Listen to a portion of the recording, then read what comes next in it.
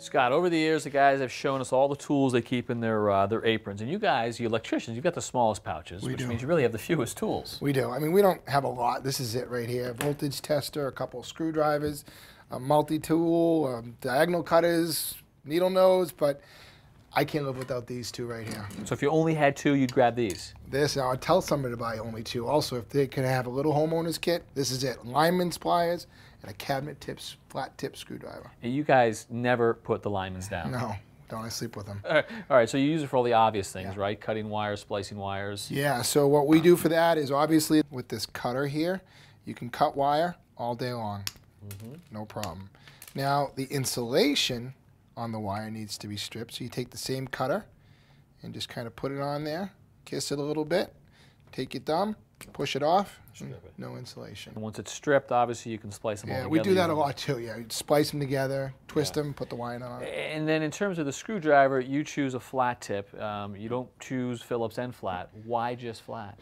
Our first point of access is usually the cover. Oh. And these are all slotted screwdrivers. So we have to take that off, get to it.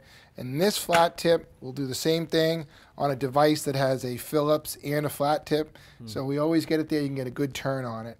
Now also, we have to take the lock nuts, the, the knockouts out. So we use this tool here, bang that out, twist it out, put the connector in. It's got this crazy looking, they call it a lock nut. So this is one of the reasons why you have so few tools. You're actually using these things for really more than their uh, a hammer. Yeah, right. Yeah, Any different purpose. So we take it and we'll just take this and now in that same angle, we can take this tool and drive a staple in, which we do a lot.